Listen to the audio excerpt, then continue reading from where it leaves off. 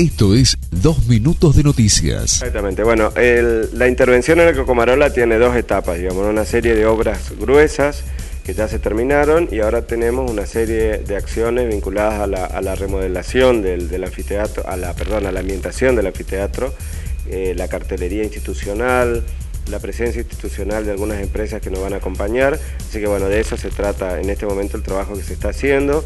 Eh, desde hoy se empieza a montar escenario, eh, sonido y luces, que es un trabajo muy complejo, sobre todo porque vienen técnicos, especialistas en, poder hacer ese tipo de trabajos. Así que bueno, estamos en esa etapa de, realizaciones. ¿Muchas expectativas para la fiesta? Muchas expectativas propias, muchas expectativas eh, locales de la gente, muchas expectativas de los periodistas nacionales que nos van a estar visitando desde el día domingo.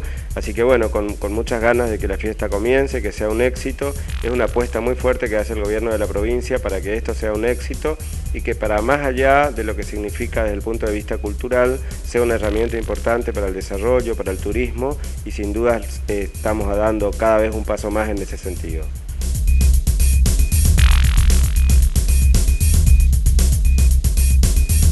Esto fue Dos Minutos de Noticias.